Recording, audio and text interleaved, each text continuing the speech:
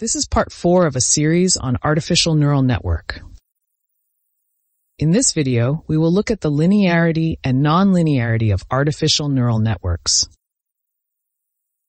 This video was produced in Korean and translated into English. My voice was generated by AI, text-to-speech.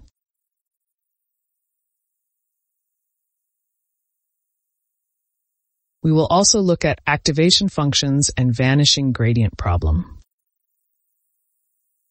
And we'll look at different ways to update parameters. Let's look at data normalization and shuffling. We'll also look at matrix multiplication and GPU.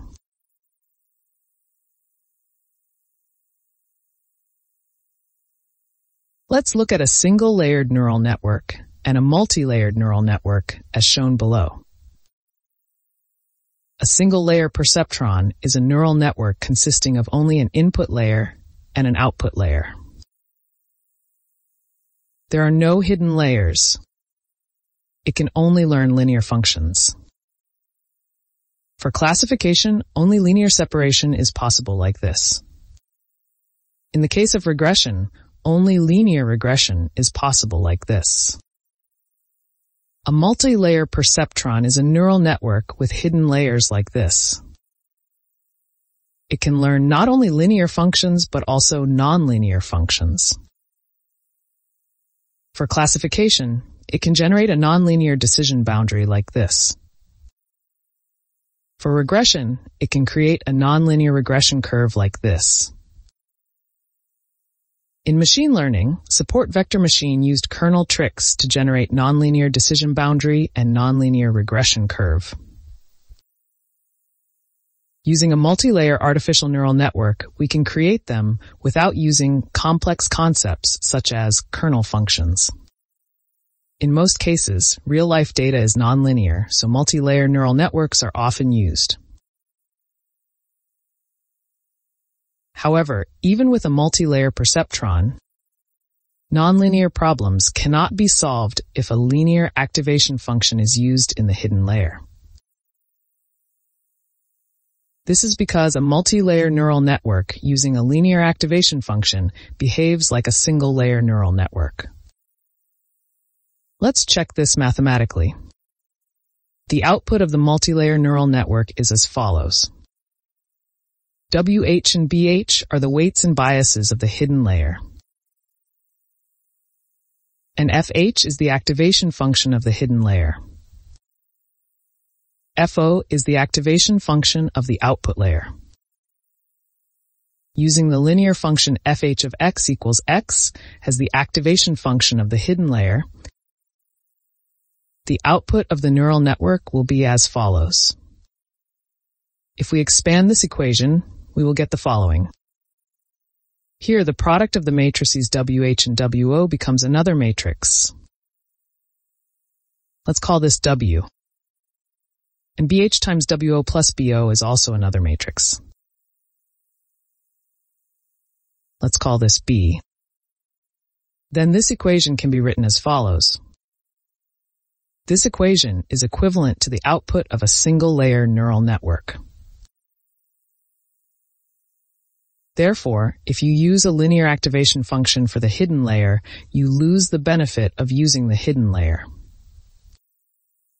For this reason, nonlinear activation functions must be used in the hidden layers. Sigmoid hyperbolic tangent and ReLU, which we looked at in previous video, are all nonlinear functions.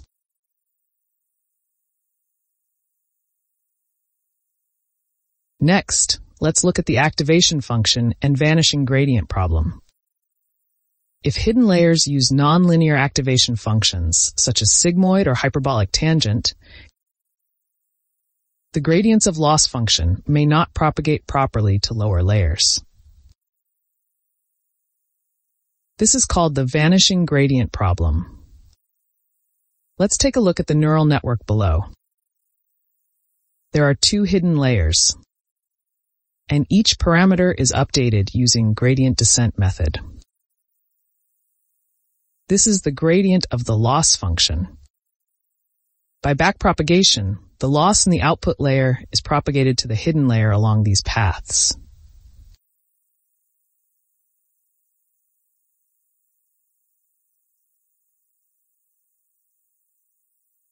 We'll cover this in more detail later in the backpropagation part. For now, let's get a general understanding of the vanishing gradient problem. The parameters in the hidden layer are updated in this way. You can see that this is multiplied by the derivative of fh2, which is the activation function of the second hidden layer. We will also look at this in more detail later. The maximum value of the derivative of the sigmoid function is 0.25. If fh2 is sigmoid, its maximum value is 0.25. Let's say on average it's your 0.1. Let's go down one more layer. The derivative of fh1 is multiplied once more. If this is also sigmoid, its maximum value is also 0.25. Let's say this is also 0.1 on average. If there are five hidden layers in this network, in the bottom layer, 0.1 is multiplied five times. This is a very small value. If this gradient is a very small value, this parameter will not update properly. As there are more hidden layers, the gradient becomes exponentially smaller. To alleviate this problem, ReLU activation function is widely used in hidden layers.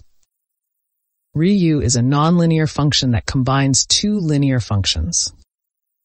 The gradient of ReLU is either 1 or 0. If it is 1, then the gradient propagates well to the lower layer. If it is 0, the gradient will not propagate. However, in this case, the output value of some neurons in the hidden layer is zero, causing some of the dropout and regularization effects that we will look at later. In the worst case, if the output of all neurons in the hidden layer becomes zero, the gradient cannot propagate to lower layers. This is called the dying ReLU problem. This problem may appear if the learning rate alpha is large or the bias is large and negative. This is because they make the weights negative and the output of ReLU zero. The gradient of ReLU is either zero or one, so it is positive. If this is also positive and alpha is a large positive value, then this term can be greater than w and the next w can be negative. Moreover, if the bias is also a large negative value, and if all x's are positive like MNIST data, this part will be negative. If we take ReLU here, the output of the hidden layer will be zero. To alleviate this problem, you can try lowering the learning rate and preventing the bias from becoming large. You can also try using the leaky ReLU or soft plus activation function.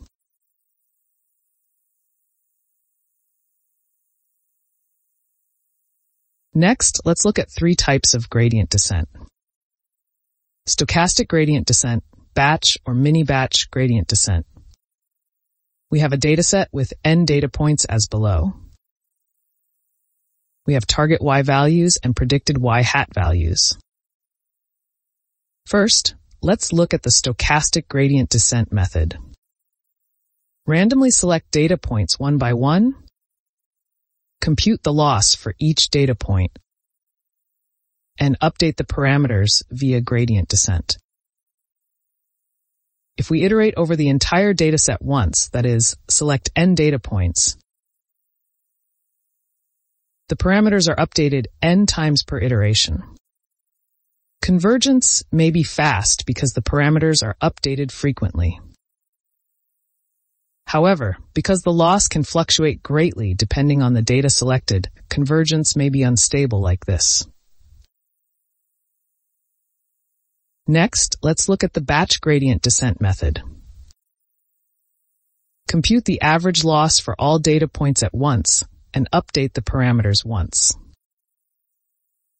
The parameters are updated once per iteration. Convergence may be slow because the parameters are updated infrequently. However, since the average loss is stable, convergence will also be stable. In addition, if the data is very large, it may not be possible to store it all in memory at once.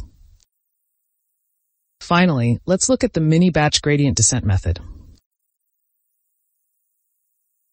Split the shuffled dataset into multiple subsets. To compute the average loss for each subset and update parameters.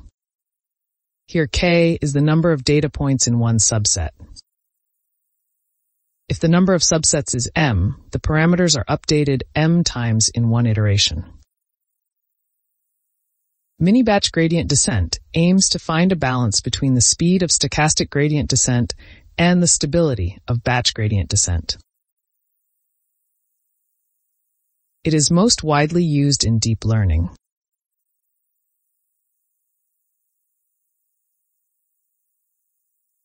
Next, let's look at data normalization or standardization. Data normalization is essential for training not only machine learning models, but also artificial neural network models. For example, let's say feature x1 ranges from negative 1 to positive 1, and x2 ranges from negative 30 to positive 30. Then the linear output for the first data point is 0.16 W1 plus 10.01 W2. If W is 1, comma 1, it generally means that the weights of x1 and x2 are equal to 1. However, because x2 is much larger, the output value is more affected by the second term. The impact of the first term is very small. Therefore, the neural network will have difficulty learning W1. Methods for normalizing data include min-max normalization and z-score normalization or standardization. Now let's consider what the data shuffling is and why it is needed. Data shuffling is not required when using batch gradient descent, but is required when using stochastic or mini-batch gradient descent. Let's assume we have a dataset collected by country as shown below. We want to learn something from this dataset using a mini-batch gradient descent. Subsets 1 and 2 both contain the data points from country A. In other words, these data points are highly correlated. If a neural network trains on this data sequentially, it will first train on the data from country A, then on the data from countries B, C, and D. When training on data from country D, the network may forget the knowledge it previously trained on country A. To prevent this, data shuffling is required. Random shuffling of this data would look like this. Because each subset contains data points from different countries, the correlation becomes smaller. In other words, data shuffling is necessary to reduce the correlation of sequentially input data.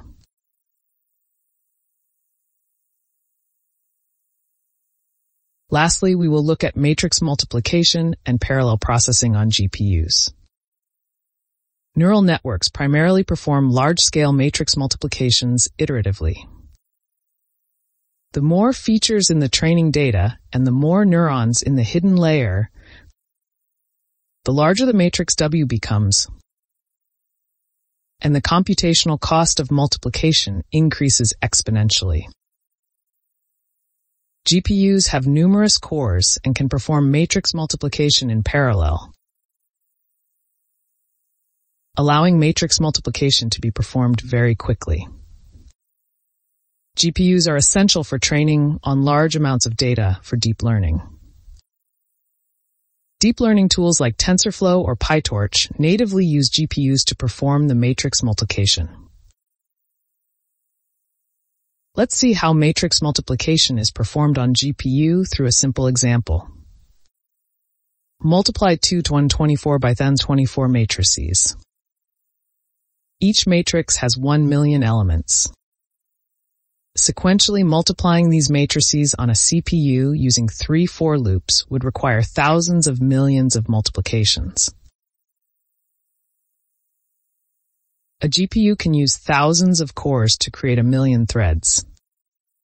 Each thread performs the multiplication of each matrix element simultaneously. The thread number one is responsible for this element, and the thread number two is responsible for this element. This way, the GPU can perform the multiplication of these matrices in just one step.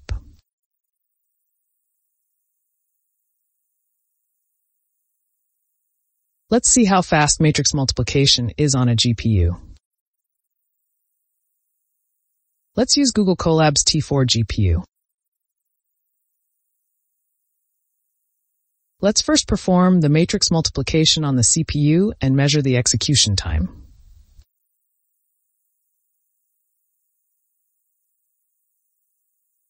Let's multiply two Then24 by Then24 matrices. The code is written in C. For loop is used three times. Our goal is not to understand the code, but to observe the execution time.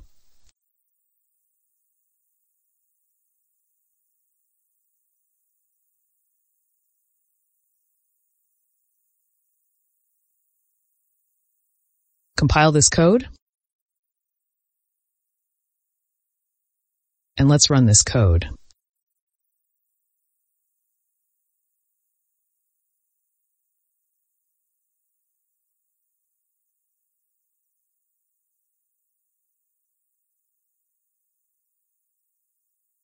You can see that it took about 12 seconds. Next, let's multiply these matrices on the GPU.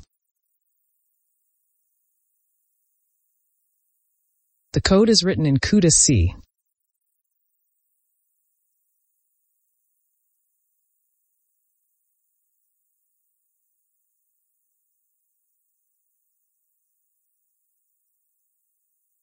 Compile this code.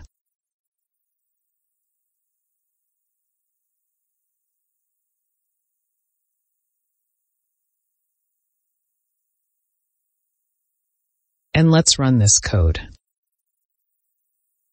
It took about 0.39 seconds. You can see that it is about 30 times faster than the CPU.